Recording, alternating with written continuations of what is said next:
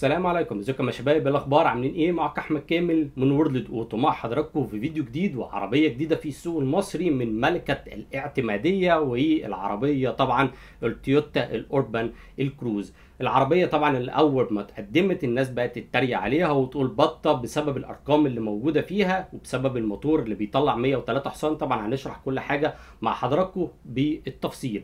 العربية ديت ليها زبونها. وليها اللي بيروح طبعا لعلامة تويوتا مش بيدور على أي أرقام بيدور على الاعتمادية بيدور على العملية بيدور على العربية اللي فلوسها في شنطتها العربيات اللي بتمسك سعر بيدور على خدمة ما بعد البيع وتوافر قطع الغيار اللي تويوتا بتضمن لك وأنت مغمض توافر قطع الغيار العربية ديت وخدمة ما بعد دي سواء كانت في صيانات أو في أي حاجة هتبقى موجودة من غير أصلا ما العربية تبيع. فالعربية ديت ليها زبونها. العربية اللي اتفقت أو اختلفت معاها هي زي ما قلت لحضراتكم ليها زبونها وليها الناس اللي بتروح لعلامة تويوتا اللي مش بتحب أي وجع دماغ في حياتها اللي هتدور كل يوم الصبح وتمشي. العربية بتتقدم بفئتين هنشرحهم شرح تفصيلي من الداخل من الخارج هنتكلم على كل حاجة بمبدأ المختصر المفيد زي ما حضراتكم متعودين معانا في الفيديوهات بتاعتنا. انزل بسرعة من الاشتراك الجميل بتاعنا وفعل زر الجرس عشان كل جديد من وورد اوتو. page فيسبوك هنحط ال link بتاعتي في ال description بيبقى عليها update بأسعار العربيات وبنتابع أخبار العربيات أول بأول. تابعونا.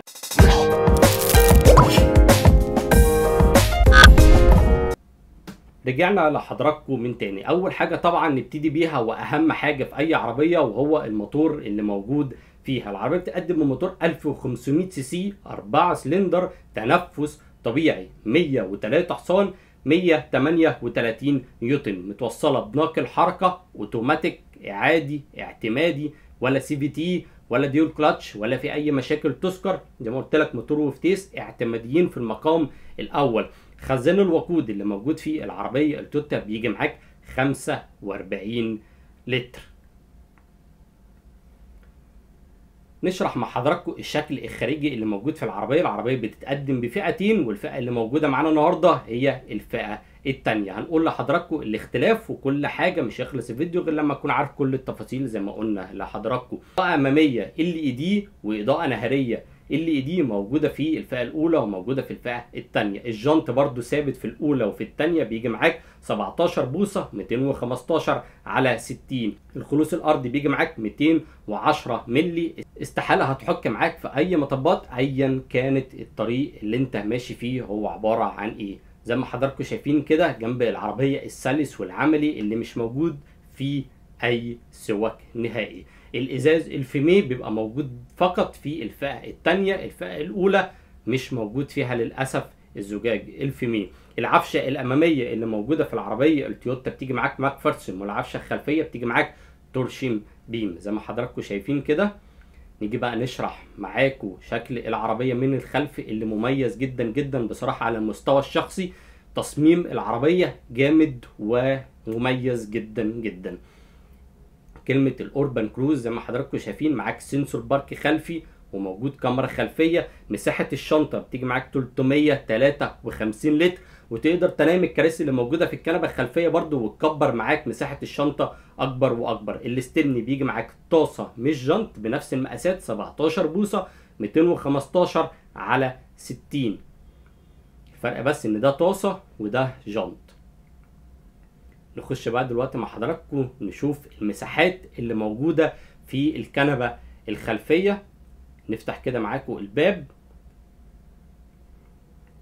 الفرش طبعا بيجي معاك من القماش معاك مسند يد وسطي في اتنين cup holder فتحات تكييف خلفية ومخرجين USB نفق الفتيس نقدر نقول عليه إن هو متوسط العربية هتاخد معاك ثلاث أشخاص بالغين هيقعدوا مرتاحين في الكنبة الخلفية.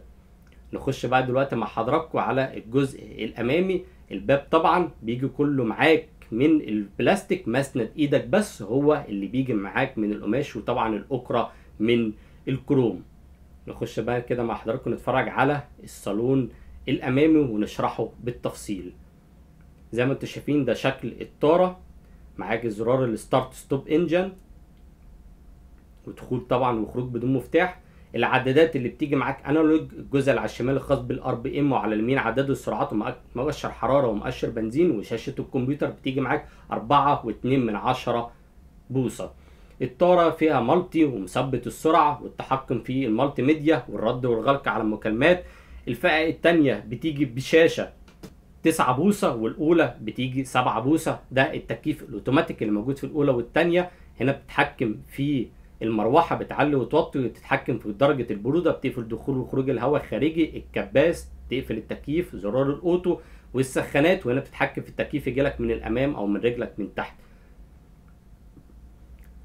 مخرج كهرباء 12 فولت ومعاك مخرج USB ناقل الحركة الاعتمادي اللي بيجي معاك من أربع سرعات زي ما حضراتكم شايفين. فرامل اليد بتيجي يدوي مش كهرباء للأسف واتنين cup holder. console الوسطي بيجي جلد ومساحته صغيرة جدا جدا. مساحات التخزين اللي موجودة في العربية صغيرة بصراحة جدا جدا. نفس الكلام اللي في الصندوق الأمامي المساحة صغيرة. للأسف الخامات اللي موجودة في العربية البلاستيك بيعم على أغلب أجزائها سواء كان في التابلو الأمامي سواء كان في البيبان كل جزء إيدك هتيجي عليه فهو من بلاستيك. جراب نضارة وديت أهي الإضاءة اللي موجودة في العربية. فتحة السقف البانوراما الفئة الأولى مش موجود فيها فتحة سقف ولا فتحة سقف بانوراما مش موجود فيها. الشماسة موجود فيها مراية بس للأسف مش موجود فيها إضاءة. نفس الكلام للراكب الأمامي الشماسة برضو مش موجود فيها إضاءة. مراية ذاتية التعتيم. ده شكل التابلو الأمامي زي ما أنتوا شايفين. زي ما قلت لحضراتكم البلاستيك بيعم على أغلب أجزاء العربية. الأكرة بتيجي من كروم زجاج السائق بس هو اللي بيجي auto من ضغطة واحدة بتنزل وترفع الإزاز. نقف بقى دلوقتي مع حضراتكم على آخر وأهم جزء في الفيديو. تابعونا. إحنا دلوقتي مع حضراتكم في آخر وأهم جزء في الفيديو فرق الفئات ال option وعوامل الأمان وطبعا الأسعار. عوامل الأمان اللي موجودة في العربية بتتقدم ب ABS و EBD و HAC نظام التحكم في التلال و VSC نظام الثبات الإلكتروني والفئة الأولى والثانية بتتقدم بستة ارباك عوامل الأمان ثابتة في الفئة الأولى وثابتة في الفئة الثانية. نيجي لحضراتكم في اختلاف الفئات في نقطة ال option الفئة الأولى موجود فيها كاميرا خلفية sensor park خلفي مثبت سرعة تكييف أوتوماتيك وفتحات تكييف خلفية والكنبة الخلفية قابلة للطي.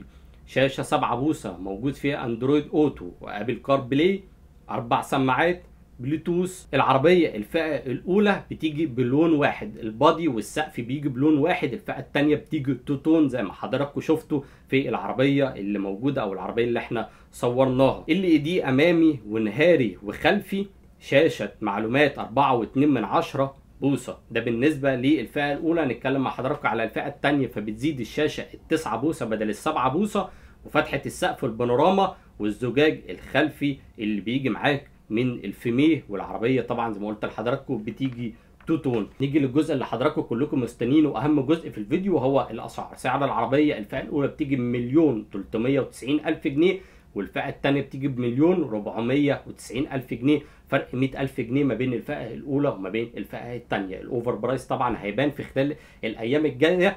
توقعوا كده في الكومنتات الـ over price على العربية ديت هيبقى عامل إزاي. وبالمناسبة العربية مش موجود عليها حجز في التوكيل للأسف. لو دخلت على الموقع بتاع تويوتا ايجيبت وحاولت ان انت تحجز العربية مش موجود عليها حجز. للأسف العربية عايز أقول لحضراتكم عليها اي عربية ايا كانت إيه هي بيتحط عليها لوجو تويوتا الأرقام بتختلف والكلام بيختلف وكل حاجة بعد نيجي عيد حساباتنا من أول وجديد. أي عربية من العربيات اللي بتيجي بالعلامة تويوتا. دي كده كانت كل التفاصيل اللي موجودة في العربية التويوتا الأوربان كروز الجديدة في السوق المصري. تتفق أو تختلف عليها زي ما قلت لحضراتكم في المقدمه عربية لها زبونها ولها الناس اللي بتروح ليها. اللي مش عايزه وجع الدماغ في حياتها وتضمن وانت مغمض توافر قطع الغيار للعربية. التويوتا في اي استفسار عند حضراتكم حابين تستفسروا عنه اكتبوا لنا تحت في الكومنتات وهنرد على حضراتكم. ما تنساش تعمل اشتراك الجميل بتاعنا في زر الجرس ونوصلك كل جديد من وورد أوتو. page فيسبوك هنحط ال link بتاعه تحت في ال description بيبقى عليها update بأسعار العربيات وبنتابع أخبار العربيات أول بأول. شكرا.